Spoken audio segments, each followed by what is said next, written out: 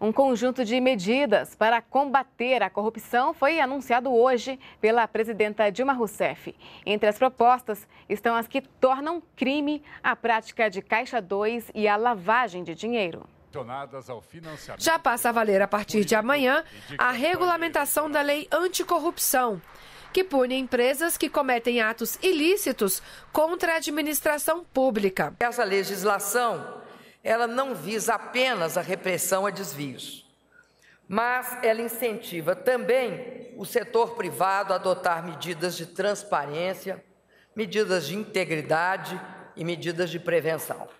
O decreto que regulamenta a lei foi assinado pela presidenta Dilma Rousseff durante o anúncio das medidas, que também inclui o projeto de lei que torna crime o Caixa 2 em campanha eleitoral que pode resultar em pena de 3 a 6 anos de prisão. A proposta de criminalização da lavagem de dinheiro em campanhas políticas sujeita a pena de 3 a 10 anos de prisão.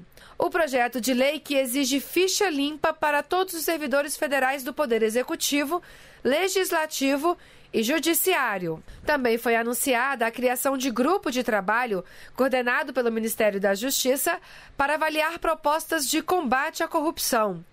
O grupo vai contar com representantes do Conselho Nacional de Justiça, Conselho Nacional do Ministério Público, Controladoria Geral da União, Advocacia Geral da União e Ordem dos Advogados do Brasil. E o anúncio contou ainda com a proposta de emenda à Constituição que torna possível o confisco e a devolução de bens obtidos de maneira ilícita.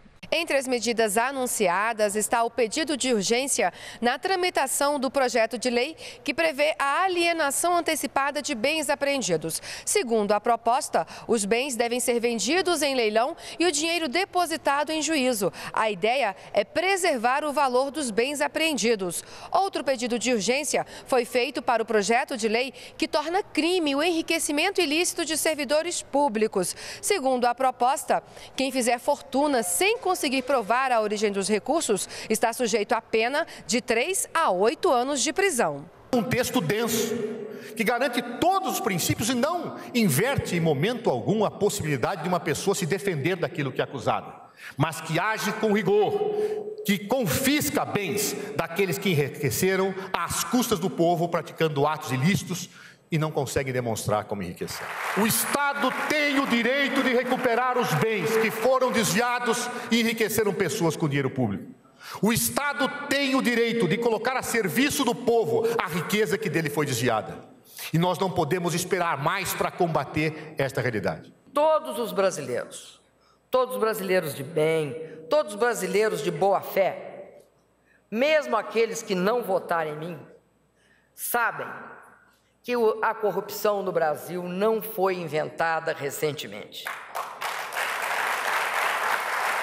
Sabe que o que diferencia um país do outro e um governo do outro é o fato que em alguns países e alguns governos criam condições para que a corrupção seja prevenida, seja investigada e seja punida.